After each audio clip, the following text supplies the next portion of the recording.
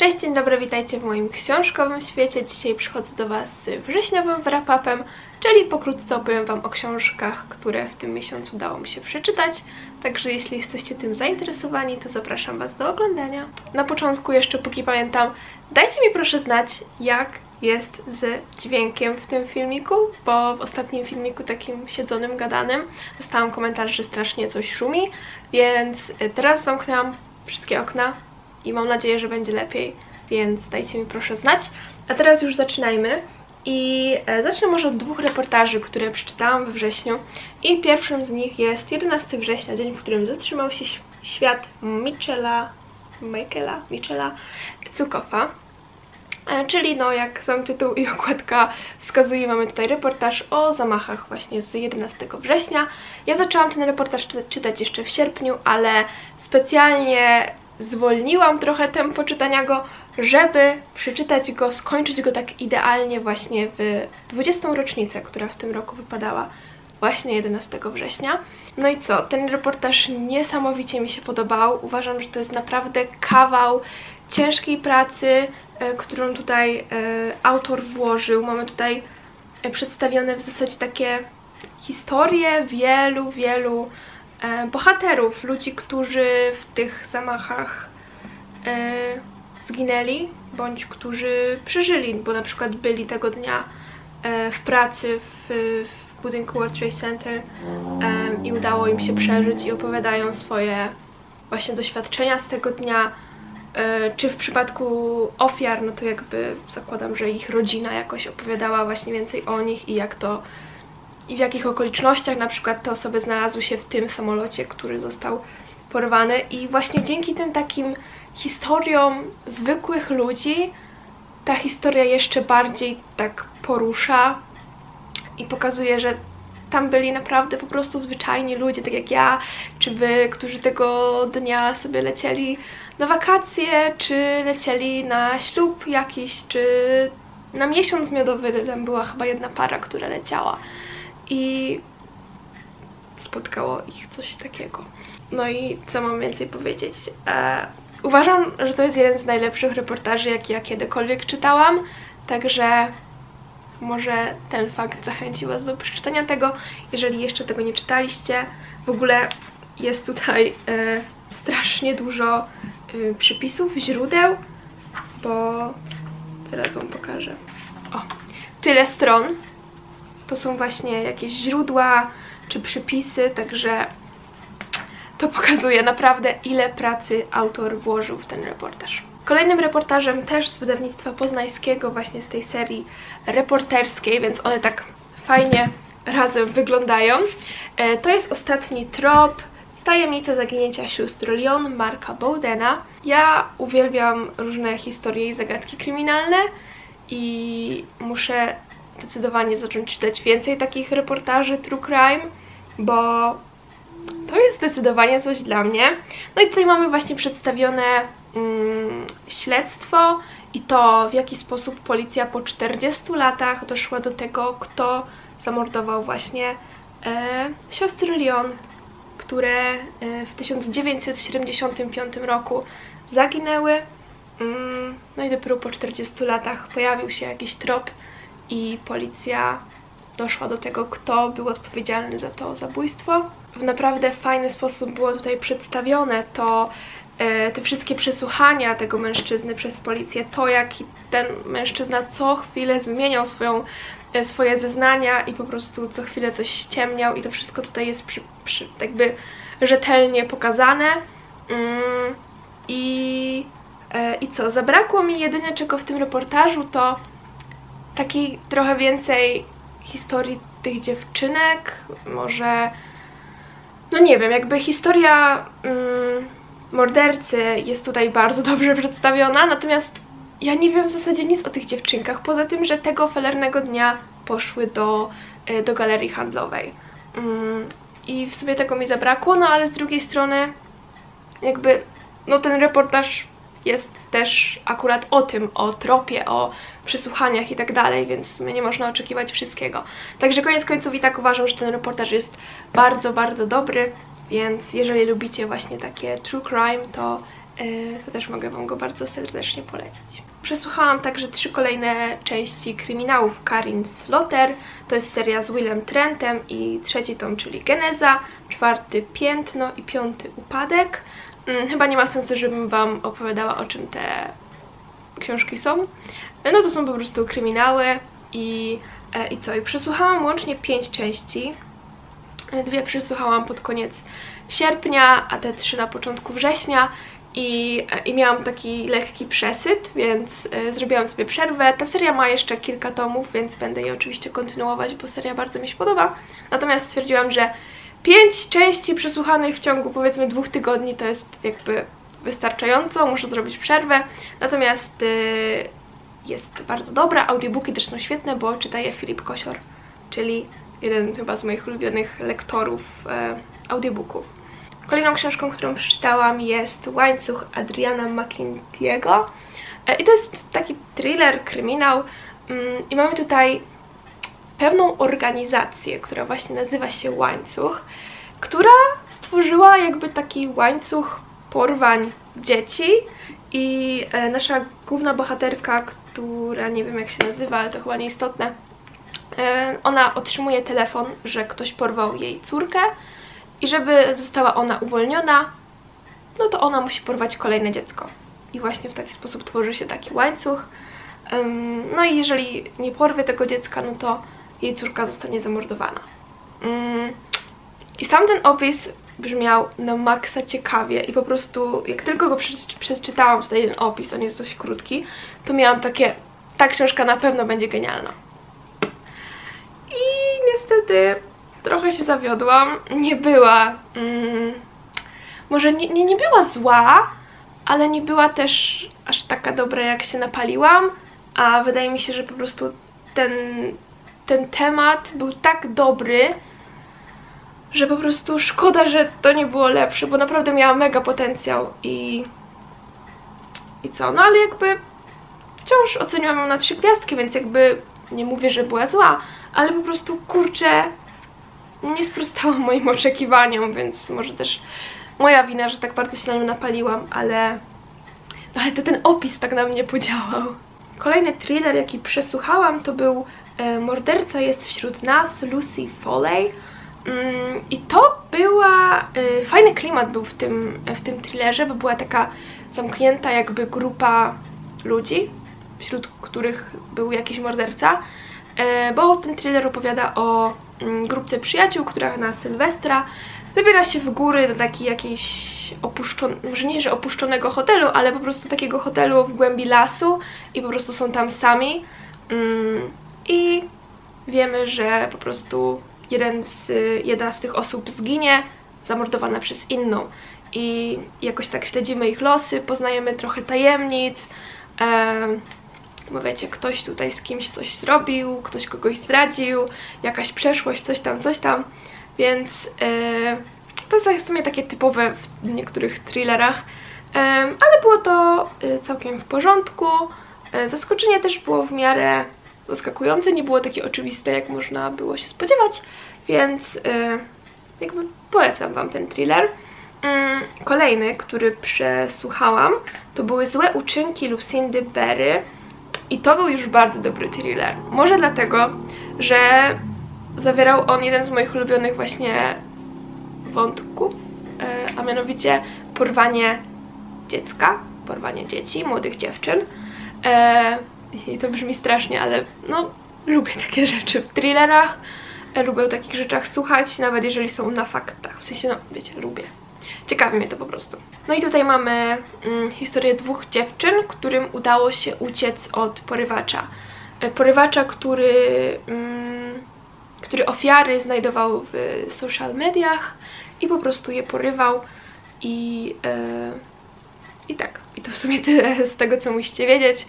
E, po prostu poznajemy przeszłość, właśnie jak te dziewczyny były przetrzymywane, no i teraźniejszość, jakby jak już im się udało e, uciec i jakby jak sobie z tym teraz radzą. Także naprawdę bardzo dobry thriller, oceniam go na 4 gwiazdki, więc e, to już jest coś, także naprawdę mogę Wam go polecić. Dalej mam książkę, o której był cały osobny vlog, więc nie będę tu dużo mówić, ale mm, seria niefortunnych zdarzeń. Jeśli oglądaliście tamtego vloga, to wiecie, że zainwestowałam i kupiłam całą serię niefortunnych zdarzeń i właśnie przeczytałam na razie tylko pierwszy tom. E, myślę, że w październiku przeczytam drugi, bo chcę to tak, wiecie, powolutku czytać, żeby nie skończyć tego za szybko, bo naprawdę to się czyta mikusiem, no bo jednak to jest no, też bardziej dla dzieci, więc wiadomo, litery są duże e, i, i tak dalej, także no, w godzinę, można w niecałą to przeczytałam, ale jakby chyba nie ma sensu, żebym więcej Wam to o tym mówiła, bo tylko narobię Wam ochoty na czytanie tego. No a mm, wiadomo jaki jest problem z dostępnością tej serii. Mm, co ja tutaj przeczytałam dalej? Przeczytałam e, zbiór opowiadań Opowiem Ci o zbrodni.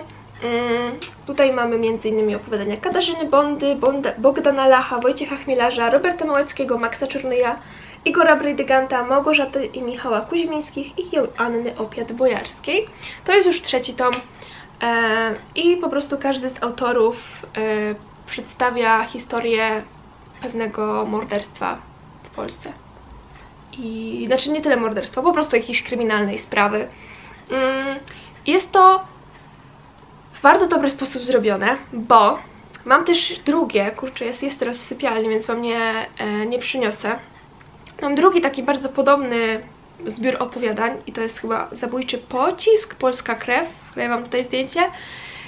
I zastanawiam się, czy nie zrobić tam DNF-a, bo nigdy jeszcze nie robiłam takiego definitywnego DNF-a. Wiecie, zdarza mi się nie kończyć książki, ale to dlatego, że sobie mówię, że może kiedyś i tak dalej. A tutaj po prostu ona mi się tak nie podoba, że chyba ją po prostu odłożę. Więc w porównaniu do tej, to ta po prostu wypada o wiele, o wiele lepiej. Dlatego to Wam polecam. Chociaż jakby mm, tak uważam, że te sprawy, przez to, że no, ta książka nie jest gruba i tych tutaj historii jest y, trochę, no to nie są za bardzo pogłębione i tak dalej, więc to jest fajne, jeżeli tylko chcecie sobie pokrótce o jakiejś sprawie usłyszeć, ale za wiele się do niej, o niej nie dowiecie. Natomiast możecie się przynajmniej zainspirować i odkryć jakieś nowe sprawy i potem na własną rękę dowiedzieć się o nich coś więcej, więc jakby mm, no, jeśli jakby pod tym względem na to popatrzymy, no to to jest y, naprawdę coś spoko. Mm, co mam dalej? O, dalej mam reportaż, mm, którego nie mam niestety fizycznie i to jest Bestia Studium Zła Magdy Omilianowicz. W ogóle śmieszna sprawa jest, że jak ja tu słuchałam na Storytelu, to to w ogóle miało inny tytuł, ale zakładam, że to jest ta sama książka mm, i już Wam powiem, jak to się nazywało na Storytelu. Wampir, jak rodzi się zło. I to jest, yy, to jest reportaż o Leszku Pękalskim, czyli yy, jednym po prostu z seryjnych polskich morderców, który był podejrzany o 17 morderstw. Y, koniec końców został skazany tylko na jedno, ale sam przyznał się do prawie 70, tylko jakby nie udowodniono mu tego.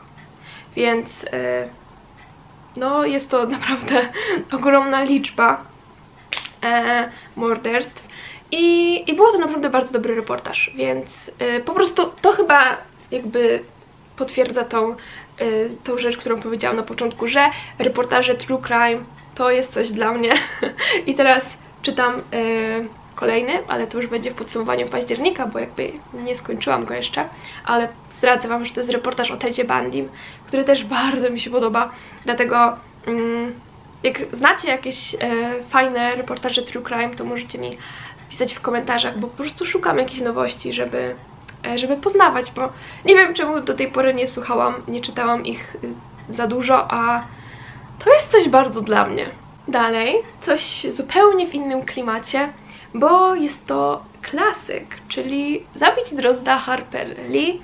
Mm, to już od dłuższego czasu było gdzieś tam w moich, e, moich no, na moim TBR-ze, ale jakoś tak mi nie wychodziło i we wrześniu w końcu się to udało.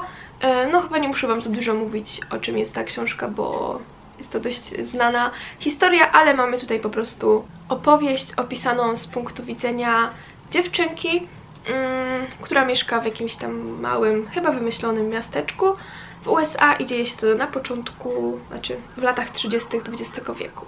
i ojciec tej dziewczynki jest y, adwokatem, który y, dostał sprawę i będzie bronił czarnoskórego mężczyzny, który jest y, podejrzany o, o gwałt na białej kobiecie. No i jakby ta książka mocno porusza temat właśnie no, rasizmu i jakby tego typu rzeczy. Generalnie to było genialne, to było pięć gwiazdek, to się tak przyjemnie czytało, mm, zwłaszcza właśnie ten początek, kiedy po prostu to było takie mm, opisane właśnie jak ta dziewczynka tam żyje, jak żyje ze swoim bratem i, i jakby fajne to taki, czu, czuć było tam taki klimat właśnie takiego małego miasteczka właśnie yy, w XX wieku, wiecie, bez jakiejś technologii tylko właśnie jakichś takich zabaw na polu, w sensie na dworze, na zewnątrz. Sorry, jestem z Krakowa, więc mówię na polu, ale wiecie o co chodzi. Um, więc to było fajne, no a potem jak już tutaj zaczął się yy, ten temat właśnie tego czarnoskórego mężczyzny, to dużo fajnych, znaczy dużo, cztery mam znaczniki właśnie z fajnymi jakimiś takimi statami, fragmentami, które tak w punkt dobitnie właśnie... Mm, mówią o, o ważnych rzeczach po prostu. Także tyle chyba, y, więcej nie muszę mówić, ale jeśli jeszcze nie czytaliście jakimś cudem tej książki, to naprawdę polecam i nie ma się też czego bać w sensie takim, że o Jezu to klasyk, tylko nie, bo przez to, że właśnie to jest pisane z perspektywy tej dziewczynki, to to jest bardzo prosty i taki przystępny sposób, także nie ma w ogóle żadnych powodów do obaw. Mm, dalej, kolejny reportaż, kurczę, dużo tych reportaży w tym miesiącu i kolejny taki trochę true crime. Jest to tragedia na przełęczy Diatłowa, historia bez końca. Alice Luger, która w ogóle doszła do tego, że chyba jest Polką, mm, bądź przynajmniej w Polsce mieszka, bo tutaj jest absolwentka Uniwersytetu Warszawskiego, coś tam, coś tam. Także e, wbrew brzmiącemu nazwisku i imieniu nie jest to jakaś zagraniczna książka, tylko chyba polska. Mm, no i tak, historię przełęczy Diatłowa chyba nie muszę Wam opisywać, bo jest bardzo dobrze znana, ale powiem Wam, że to jest jedna z moich ulubionych po prostu takich zagadek kryminalnych, w sensie nie ma tutaj nic kryminalnego, bo raczej nie doszło tam do żadnego morderstwa ani nic, przynajmniej ja tak uważam, um, ale po prostu bardzo mnie ta sprawa intryguje. Mm, tak w skrócie mamy tutaj po prostu historię grupki turystów, e, młodych studentów, którzy wybrali się na, e, na wycieczkę w góry mm, i w nocy od środka rozcięli namiot, wybiegli z tego namiotu i po prostu oddalili się. Bez butów, bez kurtek, po prostu poszli sobie. No i zamarznęli. Mm, I jakby bardzo mnie ciekawi. W sensie, dlaczego? Dlaczego oni to zrobili? Jakby żaden argument, który czy to w tej książce, czy w innej, którą też czytałam jakieś kilka miesięcy temu, e, czy to w jakichś e, filmikach na YouTubie, czy jakichś postach, wiecie, na jakichś redditach i innych takich, które gdzieś tam też czytałam, bo po prostu mocno się w to wkręciłam. Żadna teoria mi po prostu tak w 100% nie pasuje. Bo dlaczego po prostu uciekać z namiotu z jedynego miejsca, w którym było się bezpiecznym, po prostu bez butów, bez niczego. No nie wiem, ale wracając w ogóle do książki, do reportażu. Był dobry, natomiast odrobinę mnie nudził.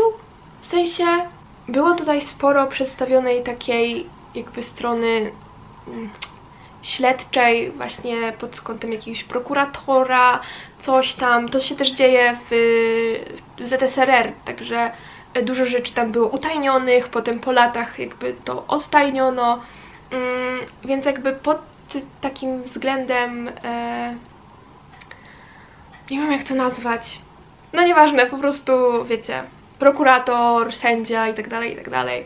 Ktoś komuś zabrania mówić, ktoś milczy, ktoś zmienia się prokurator, bla bla bla bla bla. Tego typu klimaty. Więc jakby ogólnie odkryłam tutaj, że mam straszny problem z rosyjskimi nazwiskami. One mi się niesamowicie myliły. I nie wiem też, czy to po prostu jest kwestia, że w tej książce było to tak przedstawione, że one mi się myliły, bo jeżeli czytałam jakiś inny reportaż, na przykład te pozostałe, które czytałam w tym miesiącu, to tam raczej nie miałam czegoś takiego, że zapominałam kto jest kim, a tutaj po prostu nie wiem, chyba te wszystkie rosyjskie nazwiska brzmią dla mnie podobnie, chociaż jakby nie powinny, bo jakby Polska, Rosja jakby, wiecie, Słowianie, ale no nie wiem o co chodzi, ale po prostu miałam z tym problem. Ale co jest fajne w tym, w tym reportażu, to to, że nie staje on po żadnej stronie, jeśli chodzi o właśnie teorię co do jakby rozwiązania tej zagadki, bo y, ten reportaż, który nazywał się chyba Martwa Góra, który czytałam właśnie kilka miesięcy temu, to on właśnie pod koniec zboczył właśnie na tą teorię, która totalnie mi nie pasowała, czyli jakieś ultradźwięki, coś, coś w tym stylu. E, jakby totalnie nie, nie, nie zgadzało mi się to, dlatego tamten reportaż koniec końców oceniłam gorzej. Ten jakby ma u mnie właśnie ten plus, że mm, przedstawia mniej więcej te teorie, natomiast jakby nie staje po żadnej stronie, więc to jest fajne. Także jeżeli chcecie się dowiedzieć więcej o tej historii, to polecam. Mamy tutaj też przedstawione jakby krótko historię każdego z uczestników. Mamy tutaj jakieś zdjęcia, tu na przykład zdjęcie z pogrzebu, to też jest fajne. Mm, więc... E, więc co, jeżeli Was ta sprawa ciekawi, to polecam. Mm, dalej, co ja tutaj mam? A, mam jeszcze jeden thriller, y, ale to tak pokrótce, bo to jest trzeci tom serii Sary Edenzil, czyli Czas na śmierć. I to jest seria z Isabel Fielding. Mm, I co? Tyle. To już jest chyba ostatni tom, mam nadzieję, bo nie lubię jak thrillery tak dużo się ciągną, bo już mnie zaczynają nudzić. Ale jakby uwielbiam Sarah Edenzil, dlatego jakby przeczytałam ten, y, przesłuchałam właściwie ten thriller, ale y, ale no, tyle mam do powiedzenia. Y, dalej przeczytałam coś też z innej beczki w ogóle, bo jest to science fiction, czyli mroczna materia Blake'a Croucha. Mm, I tutaj mamy historię mężczyzny, który budzi się i jakby jest w innym świecie, w sensie mm, jego żona nie jest jego żoną, on w ogóle pracuje w innym miejscu i tak dalej. No i jakby pytanie, czy tamten świat był jakby wymyślony, fałszywy, czy ten jest fałszywy, czy w ogóle oba są prawdziwe i tak dalej, i tak dalej. Więc było to spoko, ale pod koniec już miałam takie... Nie dość, że trochę jakby mózg to... Wiecie... ryje. To jest brzydkie określenie, ale wiecie, po prostu jakby jak próbowałam sobie to tak w logiczny sposób zrozumieć, to to jest takie bardzo abstrakcyjne, wiecie, takie bardzo fizyczne, właśnie science fictionowe. To, co tam się pod koniec dzieje. I um, jakby takim samym, samym zakończeniem nie byłam zachwycona. Uważam, że inaczej to powinno się skończyć, ale jakby to jest tylko taki mały minusik, ale koniec końców uważam, że to jest naprawdę bardzo dobra e, książka. Także jeśli jeszcze nie czytaliście, to polecam.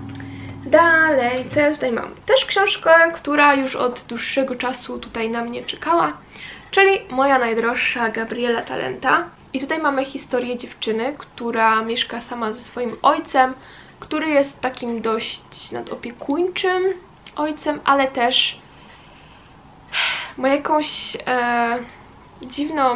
Mm, dziwne przeświadczenie w głowie, że w ogóle świat się kończy i tak dalej i że trzeba się umieć obronić, więc uczy tą dziewczynę w ogóle walczyć, gdzieś tam strzelać, coś tam, coś tam. E, jakby w tym ta dziewczyna jest dobra. Nie do końca ona radzi sobie w nauce, bo chodzi do szkoły, ale, mm, ale sobie nie radzi. Natomiast jakby samym jakby chyba głównym wątkiem i tematem w tej książce jest właśnie relacja tej dziewczyny z tym ojcem. Jak ja po prostu to czytałam, to tak mi było tej dziewczyny żal. Eee, no, chyba nie będzie to spoiler, jeżeli Wam powiem, bo to jest tutaj w, czy to w opisie, czy w tych takich tutaj polecajkach, eee, no, że ten ojciec ją też wykorzystuje seksualnie um, i jakby nie wiem co więcej powiedzieć. Eee, fajna książka pod tym właśnie względem, że, że fajnie o takich rzeczach, może nie tyle, że fajnie o tych rzeczach czytać, ale znaczy ciekawe to było, intrygujące, natomiast tak mi było żal tej dziewczyny i najbardziej w sumie. Nawet nie było mi żal tego, że ten ojciec ją gwałci, chociaż oczywiście tutaj też, ale mm, najbardziej jakoś tak we mnie uderzyły momenty, w których właśnie w tej szkole chyba głównie, ale nie tylko, dziewczyna sobie z czymś nie radziła i były jakby pokazane jej myśli, jak ona o sobie myśli. I właśnie w stylu ty głupia suko, nic ci nie wychodzi, jesteś beznadziejna i tak dalej. I jakby przez to, że ojciec tak do niej się zwraca, to jakby ona jakby też to przejęła i sama do siebie tak mówi. I jakoś to mnie tak najbardziej jakby uderzyło, że ona tak jakby przez tego oj... no o! Nieważne. Koniec końców polecam. Nie była może jakaś wybitna i tak dalej, ale jakby pod tymi pewnymi względami uważam, że, mm, że po prostu warto ją przeczytać. Wracamy do thrillerów, bo czym byłby mój miesiąc bez po prostu setek thrillerów? w każdym razie mam tutaj perfekcyjną rodzinę Alex Dahl i tą książkę chciałam przeczytać odkąd u kogoś ją zobaczyłam, nie pamiętam u kogo, ale yy, zaciekawiła mnie, ponieważ, uwaga, opowiada o zaginięciu, porwaniu dziewczynki, dziecka. Więc to już jest coś, co e, ma wielką szansę na to, że mi się spodoba. E, no i tutaj opowiada historię tego, że matka zostawia swoją córkę u, u jej koleżanki ze szkoły, zostawia ją tam na noc, a kiedy po prostu następnego dnia przyjeżdża po nią, to ta rodzina zniknęła i razem jakby z jej córką. Ta córka też zniknęła.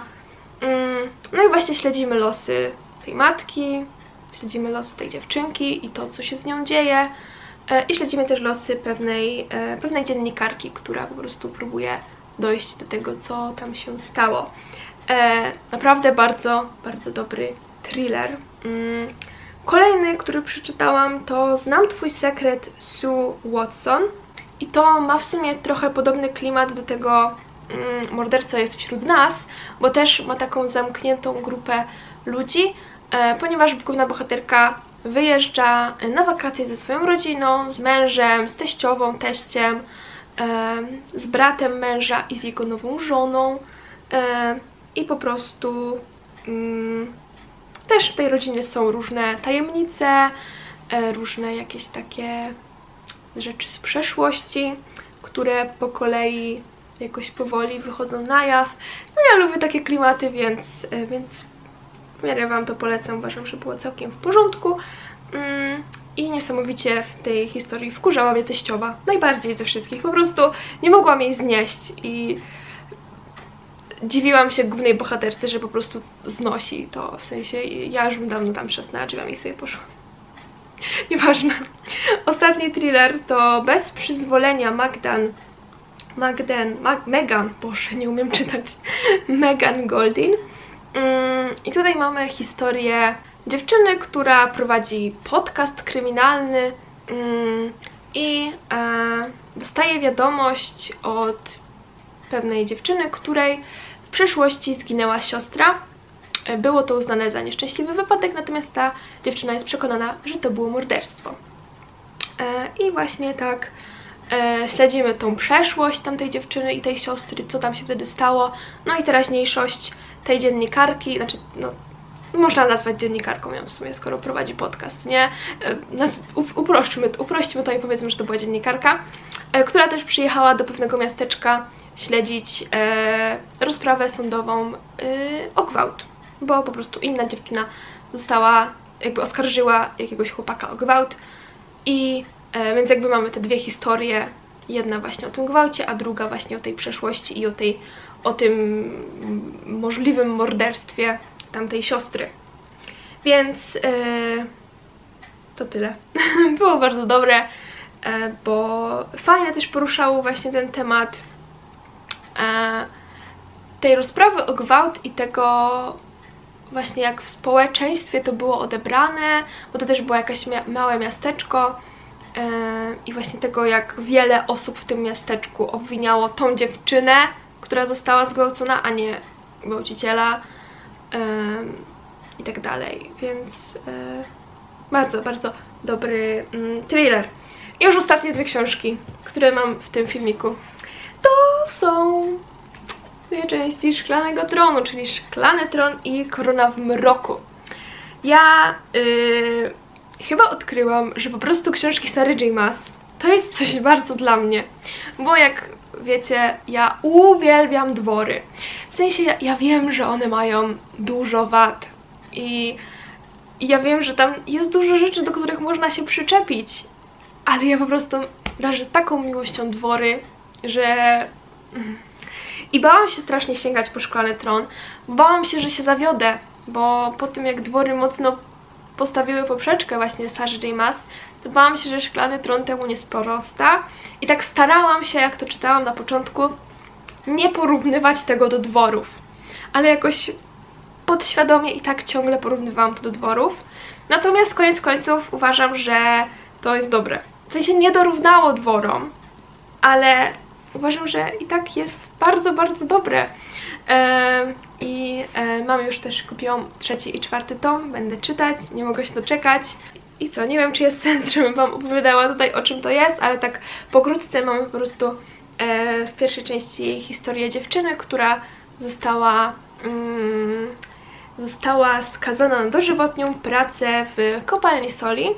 Mm, za, ona była ogólnie wyszkoloną zabójczynią i właśnie za to została skazana. Natomiast pewnego dnia przychodzi do niej e, książę i oświadcza, że on wyciągnie ją z tej kopalni, a ona weźmie jakby udział w turnieju o zabójczynię taką króla, w sensie nie, nie, nie, nie że zabije króla, ale jakby będzie na posyłki tego króla, nie? E, o tytuł królewskiej zabój, zabójczyni, o. No i właśnie ona z tej kopalni się wydostaje, idzie na ten dwór królewski i tam e, no i tam bierze udział w tym turnieju i tak dalej. No co? Bardzo fajny mm, bardzo fajne książki. Powiem tak tylko, żeby nie spoilerować za dużo, że ja wolę Doriana niż tego drugiego, który nie wiem w ogóle jak się czyta. Nie wiem w ogóle jakie imię się czyta, bo Selina? Selen? A... No, nieważne. w każdym razie tak. Jeżeli jeszcze jakimś cudem nie czytaliście tej serii, to też Wam bardzo gorąco ją polecam. Ale tak, to tyle tego, y, tych książek. Wiem, że film był dość spory, ale książek było sporo, także dajcie znać co myślicie. Jeżeli czytaliście którąś z tych książek, to koniecznie dajcie mi znać. I do zobaczenia już w kolejnym filmiku, także buziaczki. Pa!